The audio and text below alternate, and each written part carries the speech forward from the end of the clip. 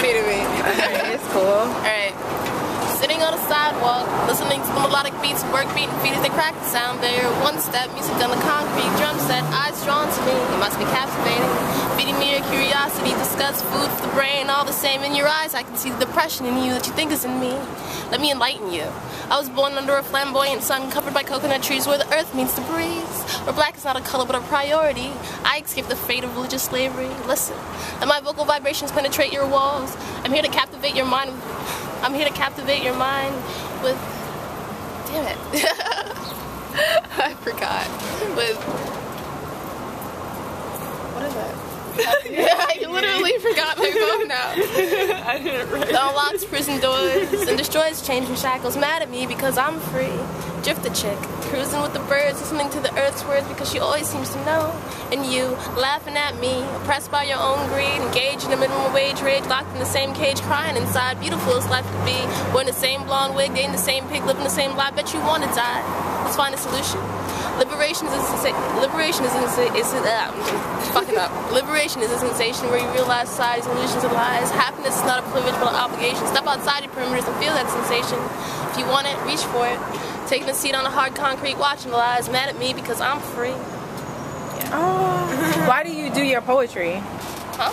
Why do we, why like why do you do poetry? Like what do you? Poet? So, I mean, what inspires you to Life. express that? Um, life inspires me because there's, there's so many things going on in this world that right now are people completely oblivious to. And it's just like when it comes to art in general, it's what I want to do. I just want to open people's eyes towards like what's really going on in their neighborhoods, in their backyards, in front of them.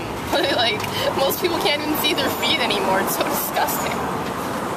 But they're all they're all so like entangled with all this garbage that when they don't realize is that realize like simple things like we're losing our natural resources. Everybody, what's money? What's a dollar gonna be worth when you can't buy food because there is none? You know. So, what do you think our future is like? What do you think our future will be like? I mean, our future. I really have no hope for the future right now if things really don't start changing because it's scary out here.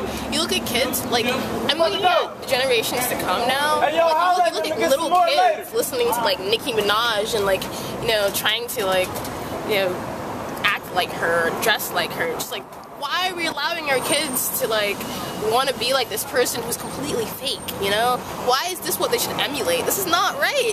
like, I can't.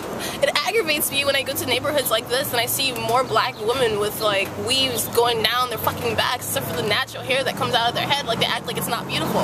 You know, because I grew up in I grew up in Brooklyn, New York, and I grew up in a school where it was just like be beautiful to have big boobs and you had to have, you know, this perfect size that was just like kind of ridiculous for a 12 year old girl. but all, all the hormones, the hormones in our food right now, I guess it's not anymore. it's so ridiculous. Just are we teaching our kids to be like this and act like this? This shit's not necessary. Teach them to love themselves and who they are. It's all everyone should love. I don't care if you wear a wig, but just remember that the hair that comes out your head is more beautiful than that wig. You know? That's all I'm about. Just being you.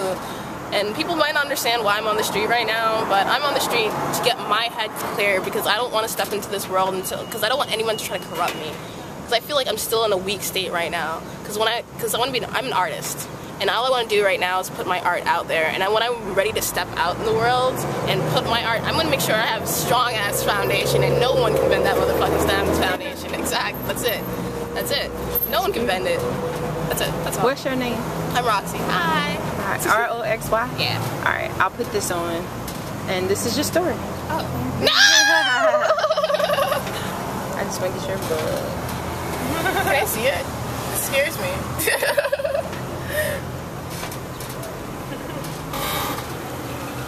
What's your name? Caitlyn. Alright. awesome, guys.